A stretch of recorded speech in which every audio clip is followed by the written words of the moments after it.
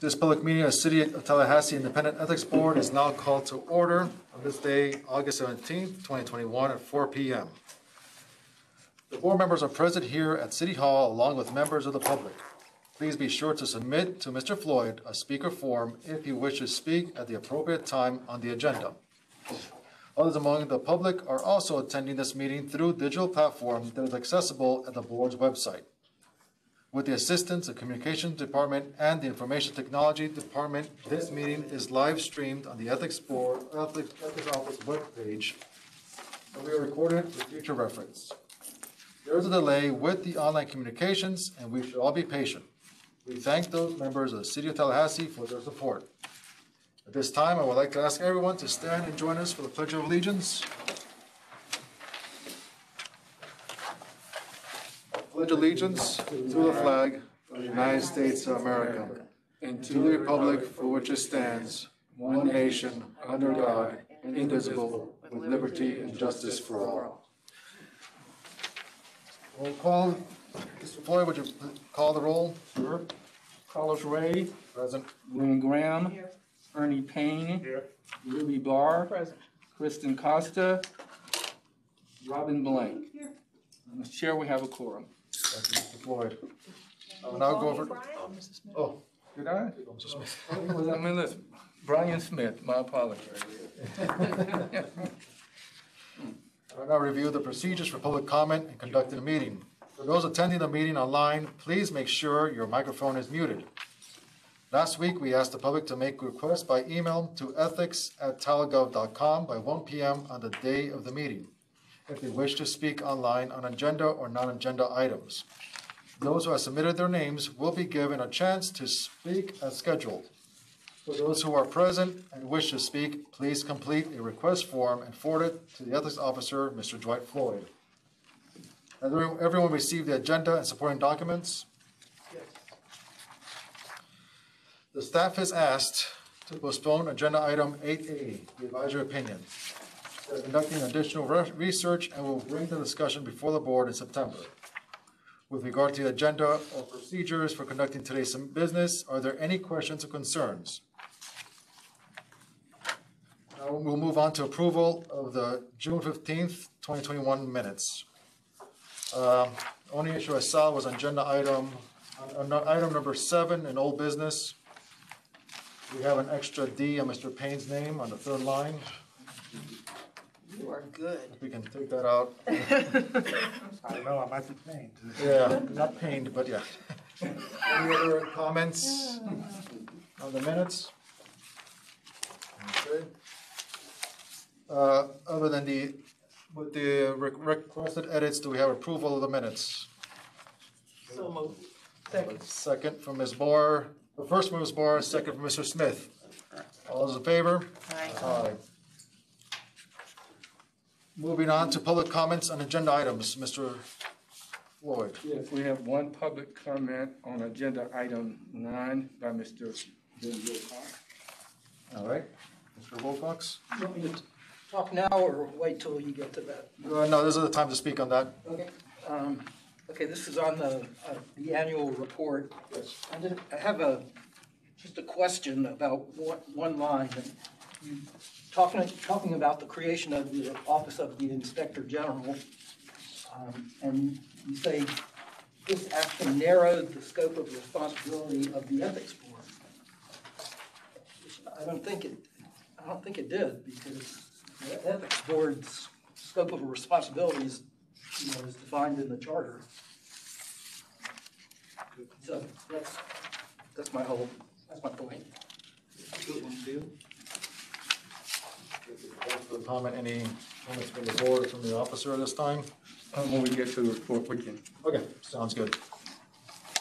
Thank you, Ms. Wilcox. Any other comments?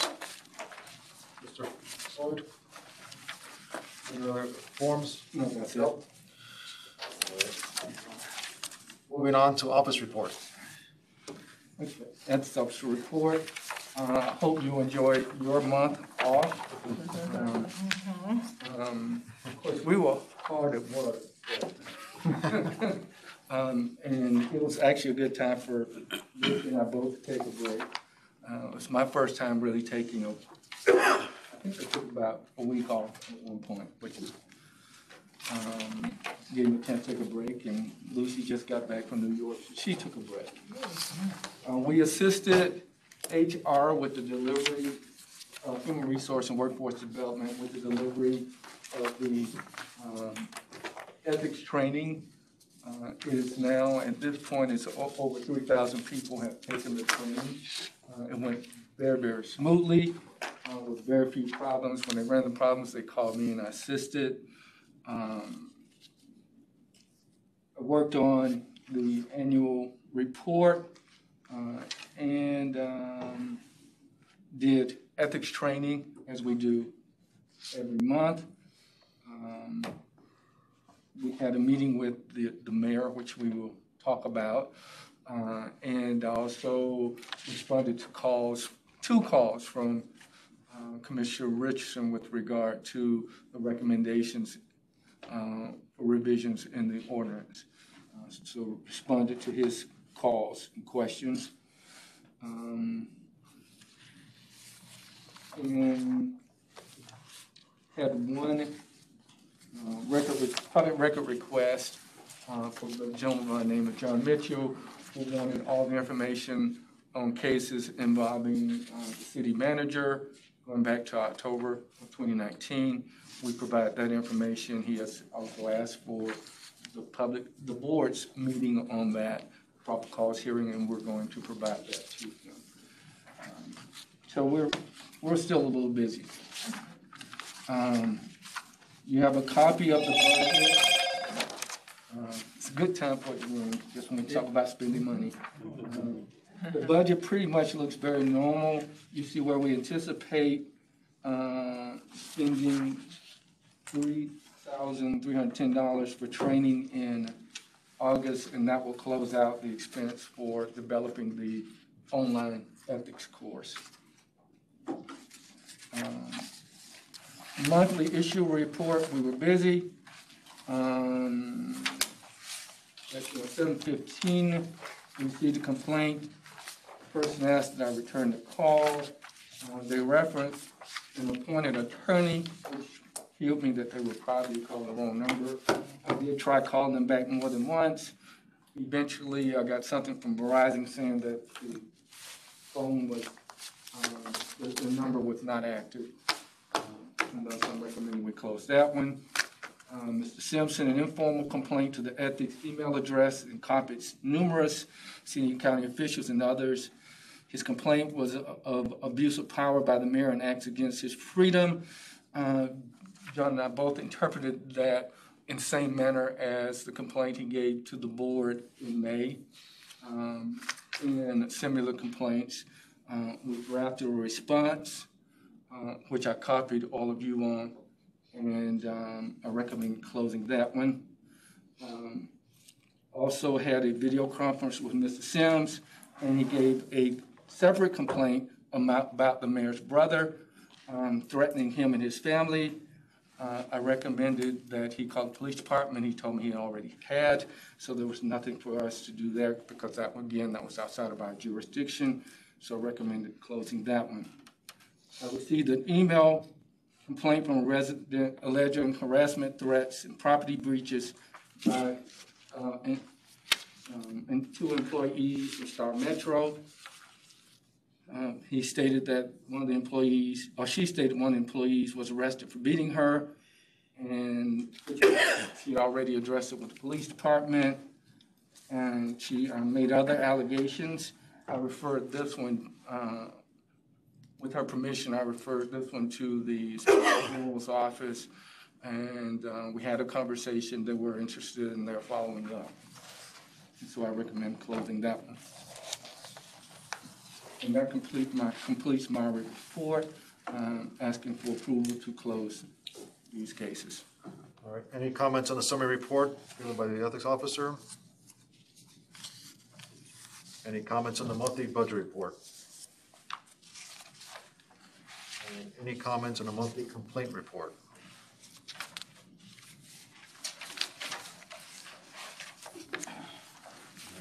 There's no further comments, is there a motion to accept the office report given by the ethics officer? Mr. Smith moves. Second. Mr. Payne seconds. Any comment, discussion? All in favor? Aye. Those opposed? Motion passes.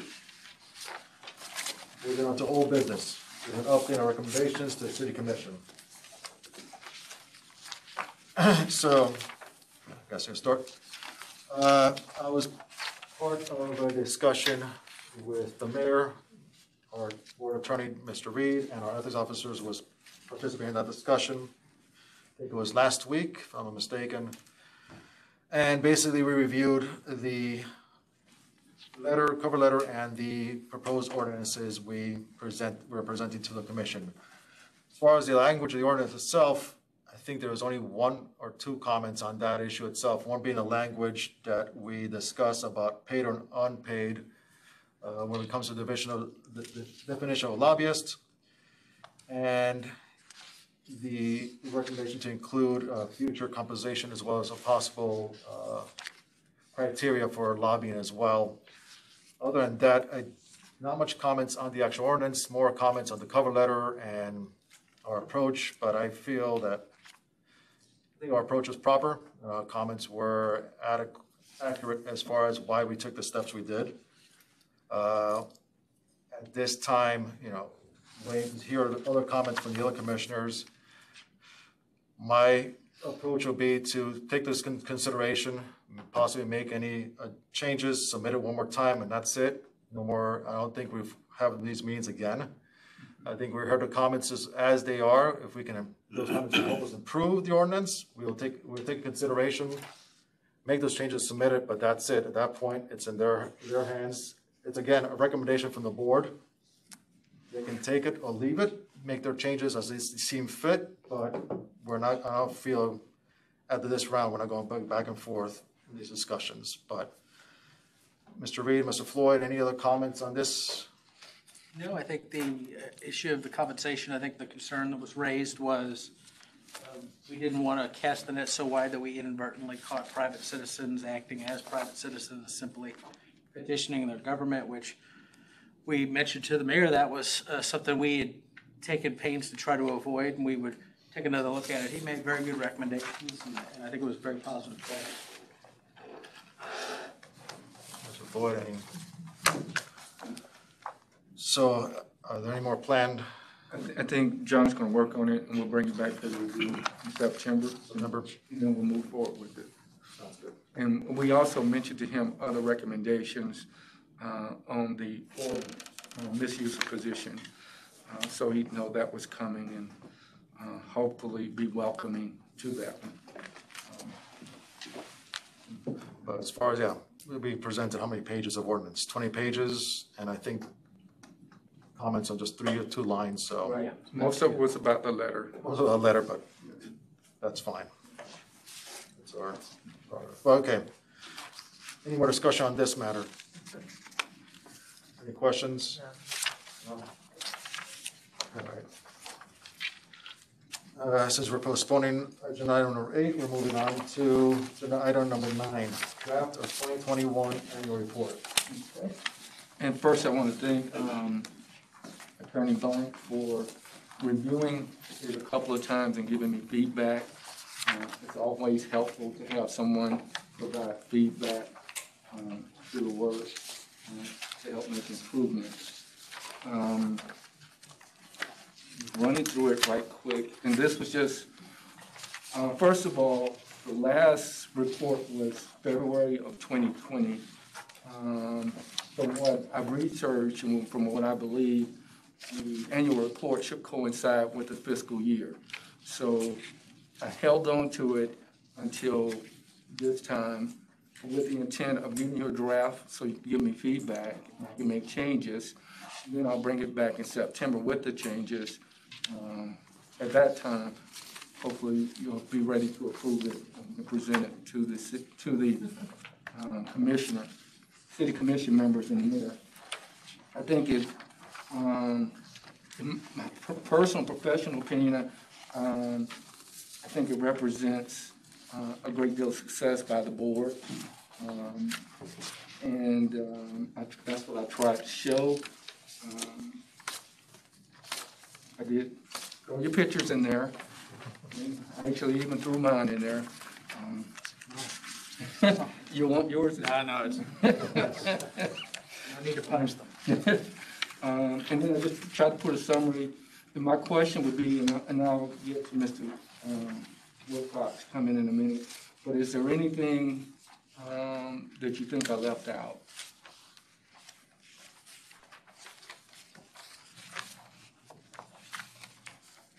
I really do think you should put this in this picture. I can put it in. I think you should. Okay. Tell him he has the web And tie. Lucy. Tell him, tell him he has the and we- web and tie. we- I always stand with a tie. Don't I? And, and, and Lucy. Okay, we can do that. And You sent me a picture, did you? Did you send me a picture? Did you send me a picture? I will.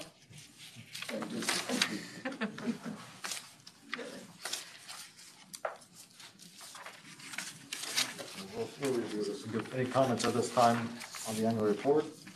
Um, not on, on, um, Mr. Wilcox. And, and all I was trying to do, and I may have gotten it wrong, and I'm, and I'm, I'm really okay with that, if I did. Um, but what I was just trying to show that there was an impact.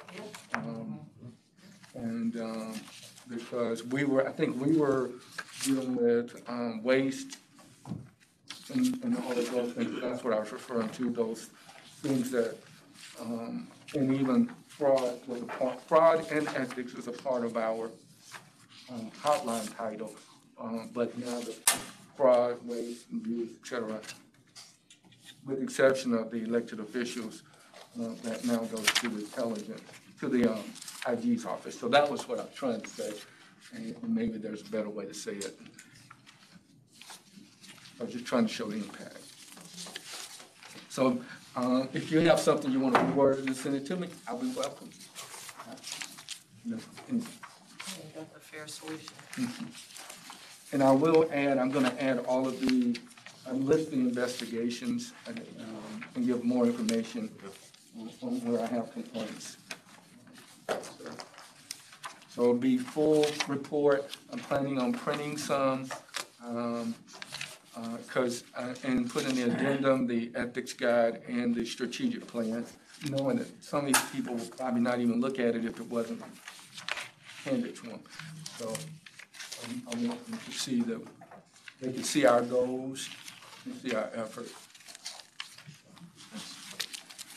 That's all I have on that. Any comments from the board? Mr. Floyd, for the work you've done on this, and Ms. Ms. Blank for helping. Um, Moving on to public comment on non-agenda items, Mr. Floyd, Uh, Mr. Stanley Sims. Mr. Sims. my name is Stanley Sims, I'm at thirteen twenty Avondale Way. For a clarification, I'd like to ask Mr. Reed a question before my comment. Do you have the authority to dismiss something with prejudice? Yes. And explain that to me. What, dismissing with prejudice? No, explain your authority to dismiss something with prejudice. Well, it may- if- Not what it may, explain your authority. The letter you sent me says dismiss with prejudice. Did I send you the letter? Yeah, you did, For me? Mr. Floyd. Oh, Mr. Floyd. Okay. Yes. Y'all work, y'all a team. Dismiss with prejudice. So I'd like to know, what is your authority to dismiss something with prejudice, or his authority? Do, do you have that authority to dismiss something with prejudice? Yes. And how is that? Um, Charter, ordinances, So if I, my point is this. When I received a very inappropriate call from the mayor's brother. Ma'am, my son is involved in this matter, my twenty-one-year-old son. Because Mr. Dwight sent me such an aggressive letter aggressive. And then had the audacity to take the sensitivity that Ms. Barr gave me at this last meeting and use it to deter me from coming back. Like I told Ms. Barr, and I thanked her for her comments. I understand that a lot of the issues that my family, and I said, not me, my family is facing is out of your jurisdiction.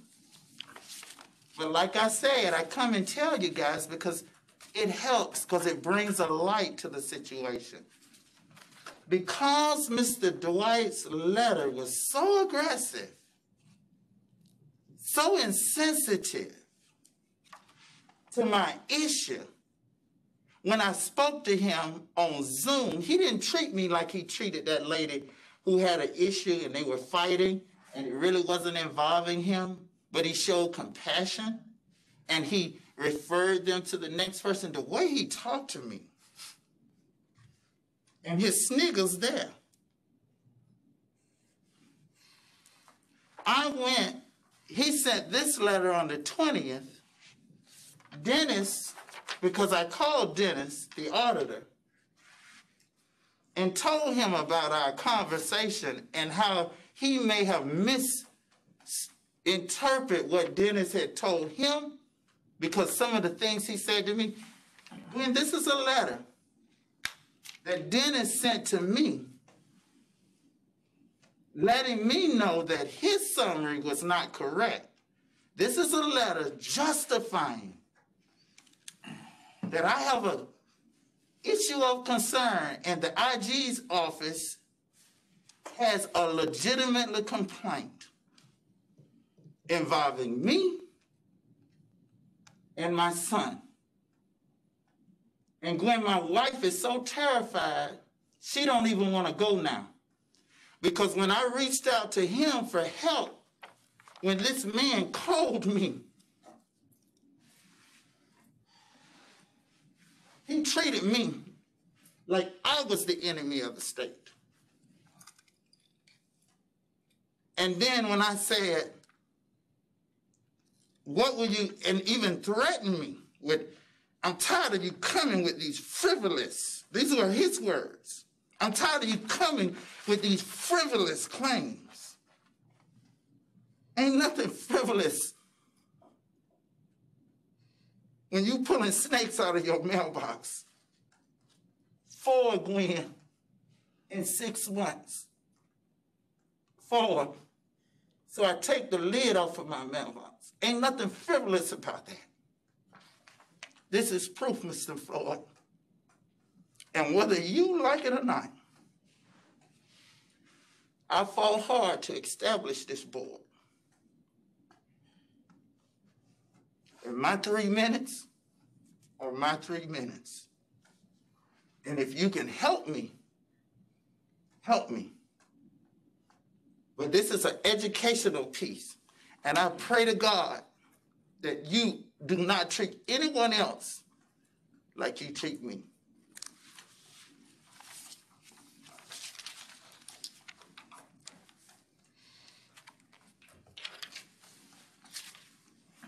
I've already responded, so I don't have anything. To I think you should, because they sent me a letter, Gwen, as if, I don't know how to say this other than, if I come back in here with another complaint, they were gonna spank my behind or put me in jail. That's the way this let, the way he talked to me, Stanley, I've seen that letter. Um, it was, gr- it was very aggressive. I, I- I've read the letter. And And I had two attorneys to look at the letter, one from the NAACP, and I won't say the other private one. And it was aggressive.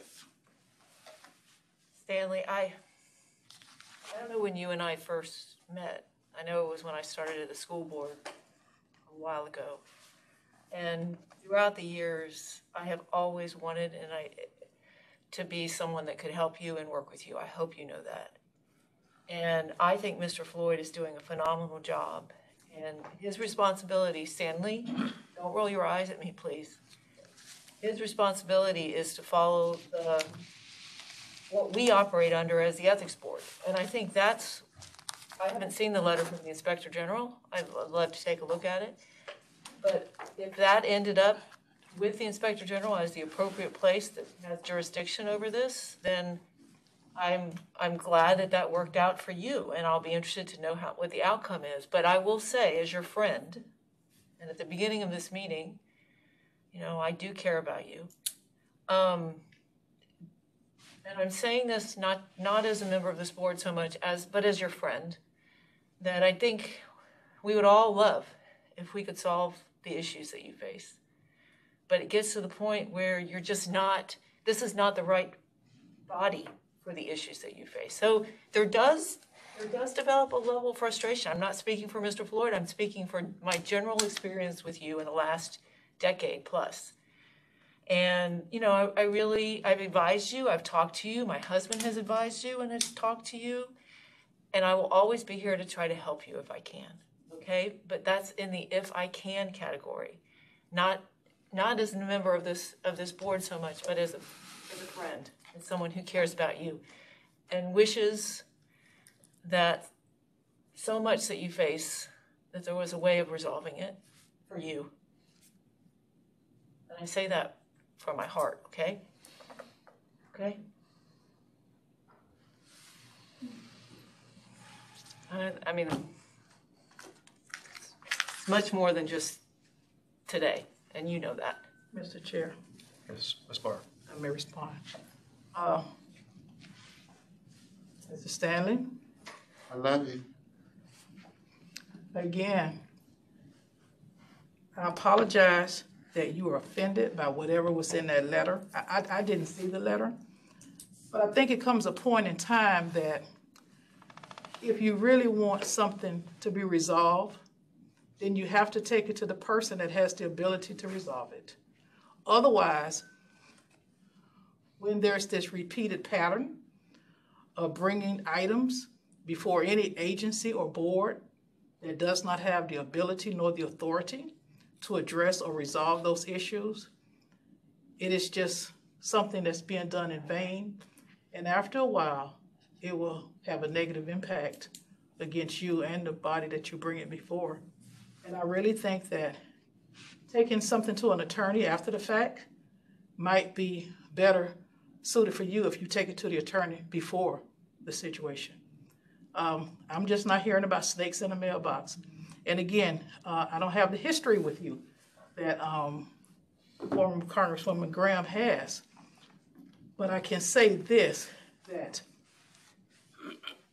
venting and, and, and repeating your frustrations to a board such as ours that does not have the ability nor the authority, and sometimes we don't even have the knowledge of these other things that are happening to you. You're putting us in a, in a, a precarious position because it becomes a balancing act. That while we, we respect the right to file a complaint, but to file it before the proper um, body. And then it's also a balancing act because we don't, nobody wants to offend you. We really don't. But after a while, and, and you know as well as I do, enough is enough. And it And- really and is. Ms. And so Barr, now, I- if there are people that have offered to help. and- Well, I, I just heard former Congresswoman Graham say that, you know, she and her husband, both of them are attorneys that have talked with you. And I'm sure that after this long period of time that you've known, that even the last time, there was an issue that you brought up that, I don't know if it was here or, I'm not quite, sure I can't remember right now, but it was something that would have had to have gone to the Department of Transportation. Because even the school board with some traffic signs or not whatnot, that wasn't their responsibility. The That school wasn't board. me. You sure I'm about a, a, a positive. traffic? My light? issue has been one issue for the last four and a half years. Well, with respect to a traffic, uh, a school crossing light No, or I've whatever? never had- Okay, well, the thing is, is that you have to take your situations before the proper authorities, and that's just what I'm saying. And so again, I apologize even on behalf of, of, uh, Mr. Floyd, that the letter was, you know, perceived as being aggressive. But the truth of the matter is, is that, you know, we really just don't have the authority to address it. And I'll tell you what would happen in, in regular court, where, where I practice, right across the street. Not only will those judges, not only do they have the authority to, um, file something with prejudice, means never ever bring it up again, but you can be banned from that courthouse. Exactly. And they can take even further action, uh, And that's why I was afraid So, that this was going. And, and, and, and I concur four hundred percent with every word you have just said. And I agree with you. I think it's correct. But I don't have a law degree. I had the wrong conception of what this board could do. And you all have educated me in what your powers are. But I want you to not take your knowledge and my knowledge. And because I come every day, you get a call, an inappropriate call from the mayor's brother.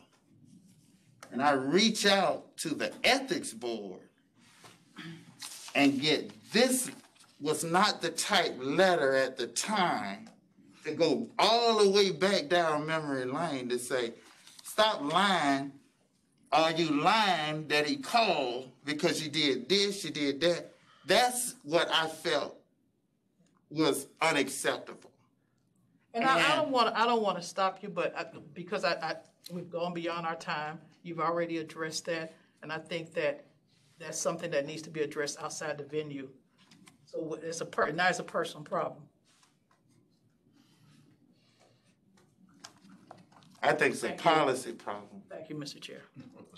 And I, I would just make note that the discussion on the marriage brother happened after the letter and was listened to and addressed. Uh, I would also note that the Inspector General's office and I, um, we confer on these issues and we did talk. Yeah, but you misrepresented what Sims, Dennis said. Mr. Sims, Mr. Floyd's addressing the board right now. We, we, we talk about, anything that's between the two of us, we, we communicate on those. So, um, we, we did communicate on these issues.